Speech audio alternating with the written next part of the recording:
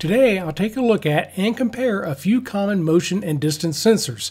For each, I'll talk about the published specs, pinouts, and wiring diagrams and show how each can be implemented using ESP Home. I might also generate a little magic smoke along the way. And towards the end, I'll also cover a few situations where using a distance sensor for motion detection might yield better results for your project.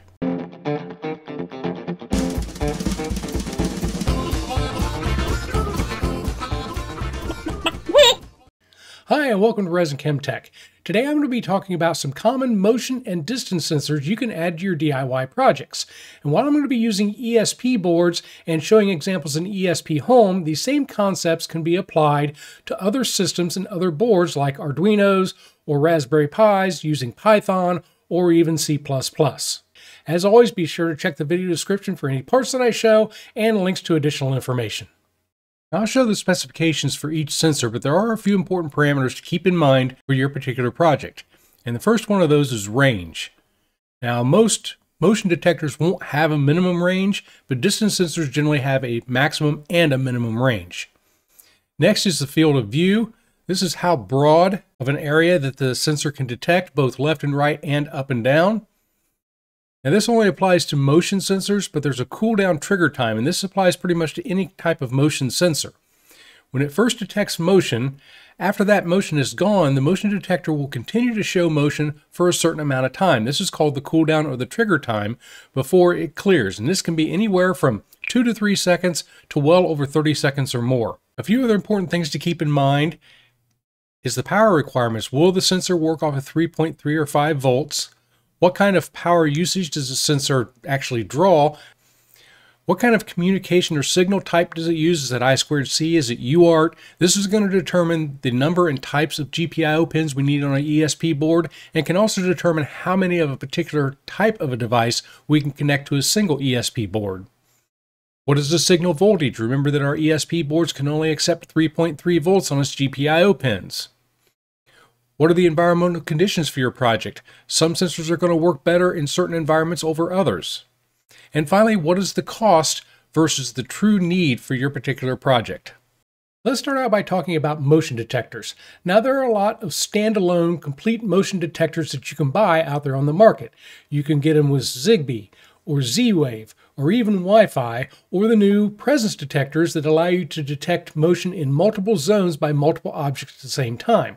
We're not going to be talking about any of those. We're going to be talking about components that you can add to your own DIY project. Of course, you could just use a standalone motion detector and use something like Home Assistant to have motion trigger something like a light. But what happens if Home Assistant is down or even if your Wi-Fi is down? By adding a motion detector to our own project, we can control everything locally that will continue to work without any outside system. While there are many types of different motion detectors, I'm going to cover a couple of the most common today, and that is the PIR or passive infrared and microwave radar. Let's start with the one you're probably more familiar with if you've got any kind of motion-based devices in your house, and that's the PIR sensor. Even within PIR detectors, there are different sensors that are used. In my case, I'm looking at the AM312, so let's quickly take a look at a few of the specifications we talked about before. This particular motion detector has a range of around 3 to 5 meters and a field of view of around 100 degrees. Now it takes about 4 or 5 seconds for a full reset to go from motion to being ready to detect motion a second time. It operates anywhere from 2.7 to 12 volts, so we can use our 3.3 volt or our 5 volt pin off of our ESP board to power it. It does have a single data out pin, which acts as a binary sensor. It's high when motion is detected and low when it's not. So therefore, we only need one digital GPIO pin on our board, and they cost anywhere around 50 cents to $2 depending on where you buy them and in what quantity. When it comes to the actual pinouts, it's important to remember that even though these are both AM312 PIR motion detectors, they were purchased from different sources, and they aren't always exactly the same, and that includes the pinouts. Take a look here at the one on the left. It actually has markings on the board itself. It marks that this far left pin is our positive voltage, the far right is our ground, and the center pin is our data line. However, this one over here on the right does not have any markings on the board to indicate polarity or which pin is which. There are also no markings on the back side of the board as well. You can't assume that this one is the exact same pinout as this one. You always need to check. And let me show you what happens if you get that polarity wrong. So I've hooked up the power connections to both these sensors. This is the one that was originally on the left and it has the markings. This one doesn't have any markings. So just for fun, I've put the positive over here on the right and the ground on the left.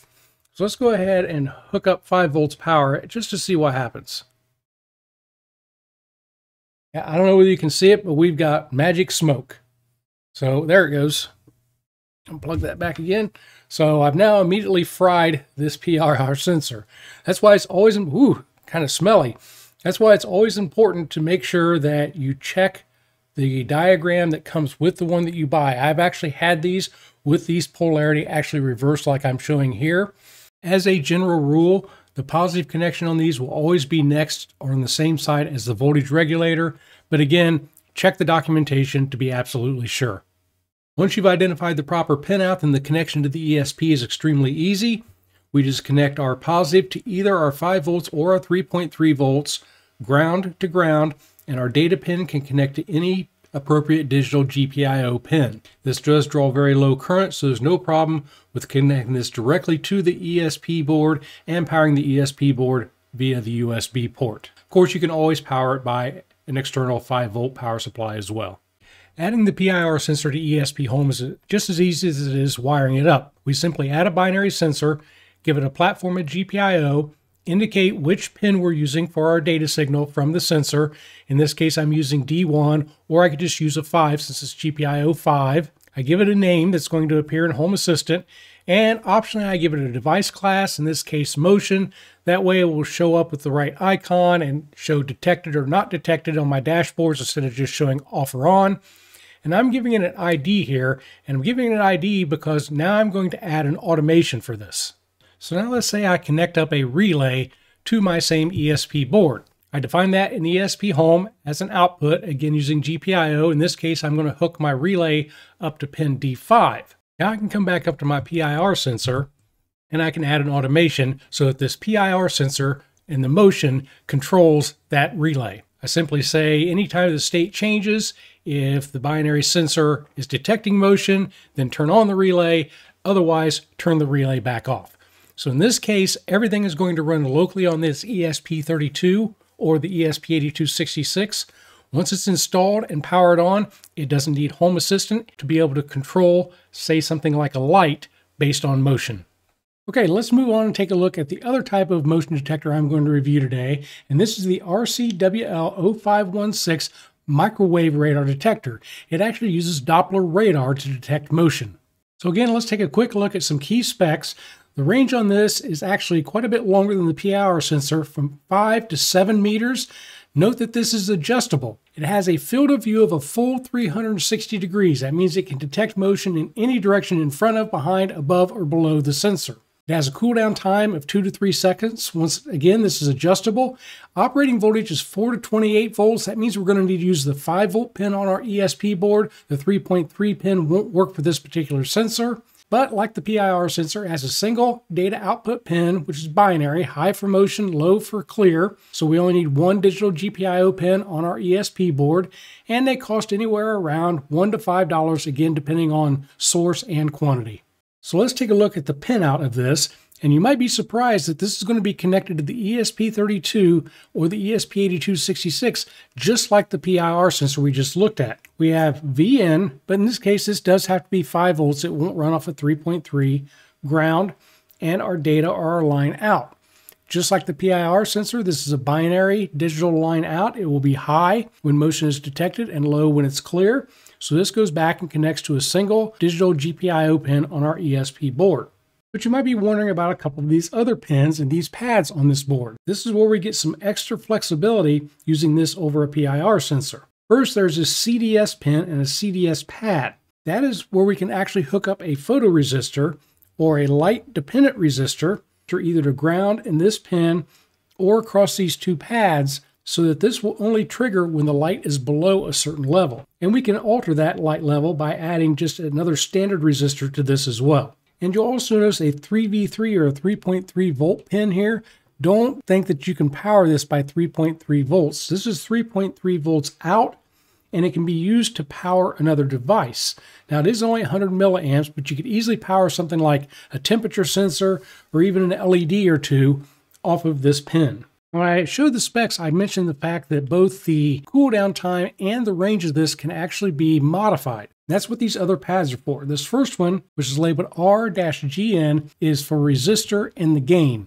So we can apply a resistor across this and actually lower or shorten the range detection of this. In a similar manner, you can also adjust the cooldown or the reset time. And that's over here labeled C for capacitor and TM for time. So we can actually apply a capacitor across here and lengthen the default two second reset time. So you may have particular needs, especially if you're doing something like controlling a light and you want it to remain on, say, for a certain amount of time, even after motion is detected. Well, you can change the cooldown or the reset time on this by applying a capacitor. Not only is the RCWL 0516 sensor wired to the ESP in exactly the same way as a PIR sensor, it's treated exactly the same way in ESP Home. You define it as a binary sensor, tell it what GPIO pin you're using, and give it a name. So let's take a look at both of these sensors and talk a little bit about the pros and cons of each. We can see here the RCWL 512 does have a longer range and a full 360 degree field of view. It also has a quicker cooldown but remember, both of those can be adjusted. Cost just slightly more than the PIR sensor, but note the PIR sensor uses passive infrared. That means it's only going to detect heat signatures. So it's not going to detect things like a moving tree branch. Now that can be a problem if you're going to install this in a warm area or non-climate controlled area. As the ambient temperature gets closer and closer to body temperature, it's going to have a more difficult time actually detecting that motion. On the flip side, the microwave radar detector will detect any kind of movement. And so it will detect something like a tree branch moving. Now that could be a problem or an issue because you could have this installed in your house and since it has 360 degree view and will penetrate walls, an outside tree branch could actually trigger the motion on this microwave radar detector. That means this is probably not the best choice for something like primary control of a light. Someone could simply walk by the wall in an opposite room and trigger motion and turn on the light. So it depends on your particular use case as to which one might make better sense for you. If you're interested in how the microwave detector compares to the PIR sensor, I did another video of an upgraded multi-sensor. In that video, I tested the range of the RCWL 0516, including when it was inside an enclosure, and I also tested its ability to detect motion through walls. You can find a link to that video down in the video description. So let's move on and talk about a few different types of distance sensors. And again, I'm going to start with what's probably the most common distance sensor used, and that is an ultrasonic sensor. This is the HC SR04 ultrasonic sensor. It works by sending out an ultrasonic sound wave pulse out of a transmitter and then measures the amount of time it takes for that signal to bounce off of an object and come back to the receiver. The HC SR04 has a minimum distance of around 2 centimeters or just about an inch and a maximum distance of about 13 feet or 400 centimeters. It has a field of view of about 15 degrees. It does operate off of 5 volts, so we can't use 3.3 volts to power this. It uses two GPIO pins in terms of a pulse to send out the signal and an echo to receive the signal back. So we just need two digital GPIO pins on our ESP board. The cost of this is anywhere around $1.50 to $3, again, depending on source and quantity. The pinout and the wiring for this is really pretty simple. We have our VCC, which is our 5 volt connection on one side, our ground connection on the other. In the middle are our two pins to send out the trigger and to receive the echo. And again, these can be connected to any appropriate digital GPIO pin on your ESP board.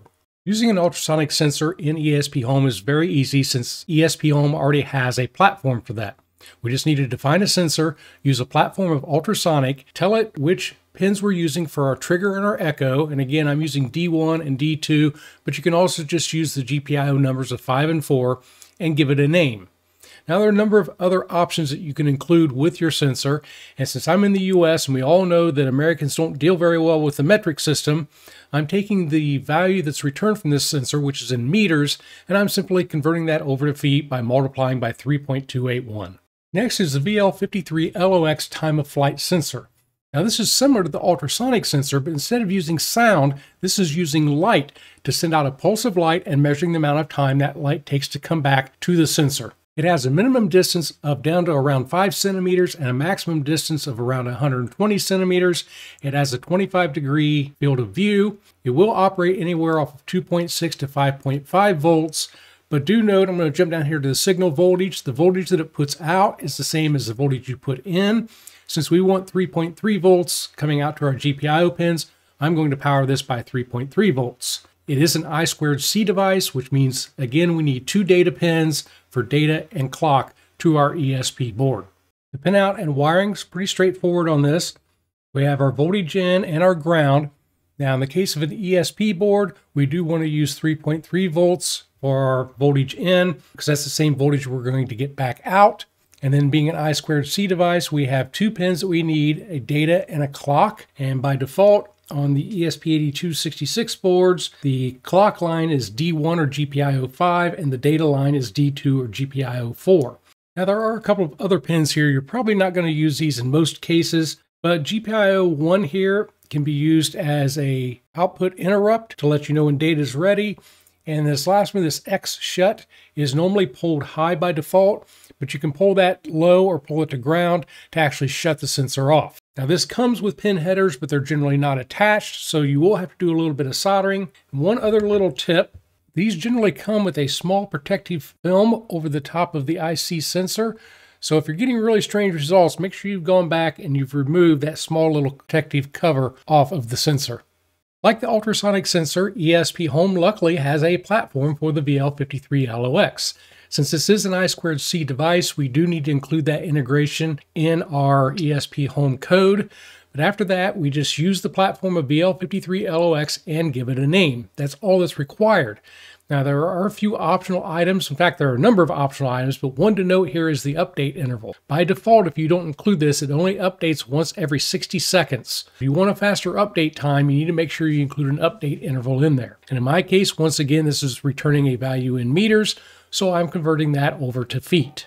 The final distance sensor I'm going to take a look at today is the TF Mini S LiDAR distance sensor. Now it's similar to the other two in the fact that it's going to send out a pulse, but instead of sending out a single pulse, this is going to send out multiple pulses of light to more or less create a mesh of the object it's trying to measure. That's going to result in giving you much more accuracy and a much more stable signal than the other two sensor types. Do note that Benewake makes a number of different TF Mini models. I'm looking at the TF Mini-S today, so just be aware that other TF Mini models may have some different specs than what I'm showing. And this does have the highest minimum distance of the sensors I've looked at, but it also has the longest maximum distance or range of any of the other sensors, all the way out to about 6 meters or just under 20 feet, and it can be programmatically changed to long range mode where it can measure and detect distances all the way out to 12 meters or around 39 feet, although you do pay a little bit in terms of resolution and accuracy in that long range mode. It has the narrowest field of view of any of the sensors of only 2 degrees. Now this can be an advantage or disadvantage depending on your particular use case. It does require 5 volts, and it uses UART or the serial bus for communications by default, which means we need to use an RX and TX pin on our ESP board. Do note that this can also be programmatically changed to use I2C. I've not tried that, but from what I've read, it does come at the cost of some accuracy and stability of the signal. One other thing to note here is that cost. This is anywhere from 10 to 20 times more expensive than the other distance sensors that I'm looking at. But what you're paying for here is you're paying both for that long range and accuracy and stability of that signal. For the pinout and wiring, note that the TF Mini comes with a small JST style connector. Fortunately, they do include a couple of cables along with the device. One of them has simple DuPont jumpers on the end, so you can use this on something like a breadboard without doing any soldering. It also comes with a JST to JST connector, so you can add a JST connector onto your PCB or your prototype board, but do note that the pinout on one end does not match the pinout on the other. Only one of these two actually fits into the TF Mini, and it will keep the pin orientation correct. But looking at the actual pinout from left to right, we have ground, then 5 volts, then RX, and TX for receive and transmit. Now do note when dealing with a serial device, you need to flop flip-flop the RX and the TX when connecting to your ESP board. So the RX on the device connects to TX on the ESP and TX connects to RX. It's actually one of the most common mistakes I see people make when dealing with serial devices is they forget to flip-flop the TX and the RX between the device and the ESP board.